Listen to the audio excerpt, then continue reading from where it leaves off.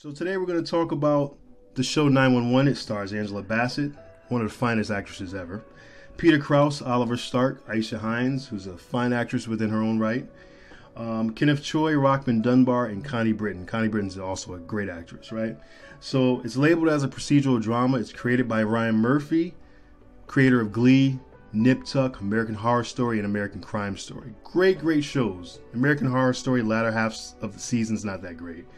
Uh, he's created some bad shows, The New Normal, Scream Queens, and Popular. I didn't like it all, but it is what it is. But listen, this show was labeled before it came out as a procedural drama that compares to a lot of the great police shows, like The Wire, The Shield, NYPD Blue, Law and Order, Law and Order SVU, Chicago, Blue Bloods, or Chicago PD, excuse me.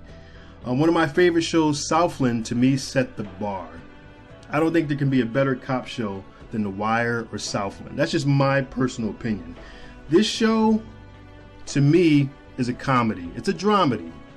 Well, let's call it a dramedy. Over the top stuff. It doesn't seem like they have any kind of law enforcement, real life law enforcement on set input because the scenes and scenarios are ridiculous. We know ridiculous situations happen, but the way the characters handle those situations are not very procedural and they're not very realistic, and it's a joke. But that's just my personal opinion. You have to watch the show. It's already been renewed for a second season. I don't know how, but Ryan Murphy Ryan Murphy has that juice. So let me know what you think.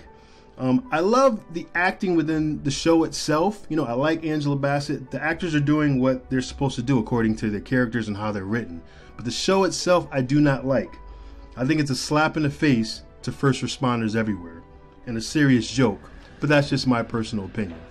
So let me know what you think. I appreciate you listening, like as, as always. And uh, any feedback on Instagram, Facebook, or YouTube is appreciated.